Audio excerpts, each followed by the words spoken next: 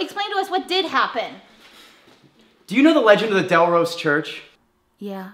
So you know the stupid tale that if you ring the bell that sits out front three times that a creature from hell will come to collect the souls. Jesus Christ, that existed when I was a little girl. You know what? I know plenty of people that have written that damn thing and they're still alive. So what makes you think it really happened? It's like people that believe the legend are just stupid. Infection will spread and then you're dead.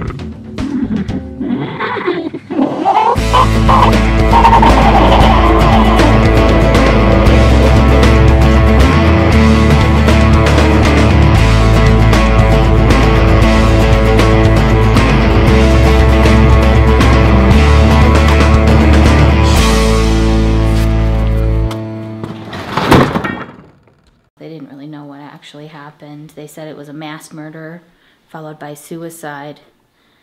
They tried to cover it up. They didn't want anybody to see how mangled all the corpses were.